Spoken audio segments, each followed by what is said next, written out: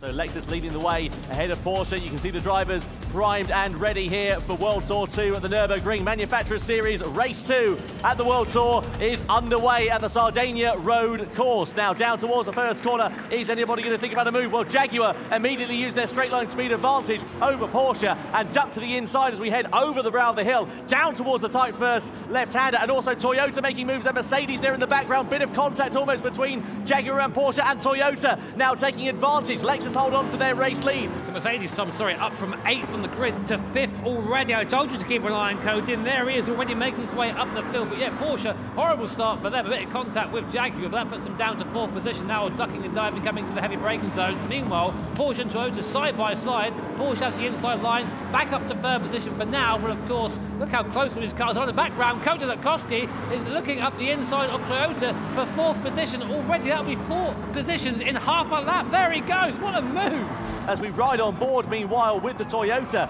in second position, trying to find the way around the outside there of uh, Ford. They have to try and go the long way round and take the longer line. They can't find their way through as Ford as well are trying to look ahead of BMW for fifth. BMW, meanwhile, having to defend quite heavily there from Ford. In fifth position, and Audi are off. Audi have got off, so that is a big, big shame there for the British driver, Martin Grady, who is behind the wheel. So Ford here on the outside of BMW again, trying to use the grunt of the V8 motor in that Ford Mustang. BMW on the inside. Who's going to be the late breaker? Looks like they're both braking at the same point. BMW has the inside line. Ford turns in. He's only going to meet a door there and gets shoved out wide there. This is what happened, though, between ah, Aston Martin and Audi.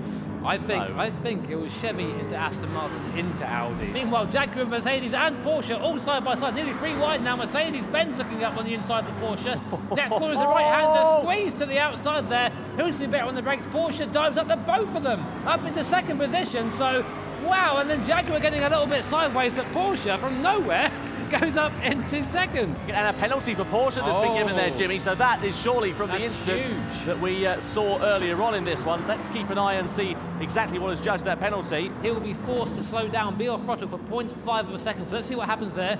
Comes across the zone now, is currently second. So there goes the penalty. Can Jaguar make anything of it? No, he was far enough ahead. So somehow still keeps the position. And you can see Mercedes-Benz with the inside line, and they're going to try and take Porsche nearly down towards the first turn. Porsche parks it on the apex. Mercedes up the inside of Jaguar. Do they get the position? Will the Jaguar get the switch back into the left hand? And they try and hug the curb, but it is Mercedes' corner. And now Mercedes onto the final spot on the podium. These guys are fighting for second position. The Lexus again four and a half seconds up the road. Here come Mercedes, though, going to the outside of Porsche. Porsche are going to park it on the apex once again. Oh, but they're going to go for the switchback. They go down the inside on the final lap, and they get the position. What an audacious move from Mercedes. That was absolutely masterful by Cody Latkovski. Not only did he send the dummy, he then just stopped the car in the apex, stopped the Porsche getting the run back on Here him. Here comes BMW, Jimmy! Wide in the background. BMW dives up the inside of Porsche and of Jaguar, but I think he's gone a little bit too far out to the exit. There he oh, goes. No! Oh, he's sideways across Porsche. Jaguar up to third, Ford up to fourth, and Ford now actually up to third position.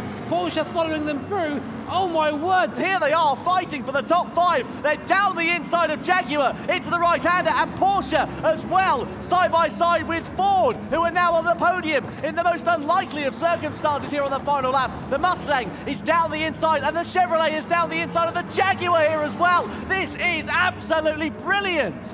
What great racing! Side by side, they still run. And here comes Toyota into the mix for the top five battle as well. We're going to have two corners remaining as we go into the left-hander. Lexus take victory in race two for the Manufacturer Series. But the battle for the podium, who is it going to be? Mercedes in second place, the final spot on the podium. It's so close, it goes to the line, and Porsche gets it. Porsche gets it on the line by six hundredths of a second. How exciting was that?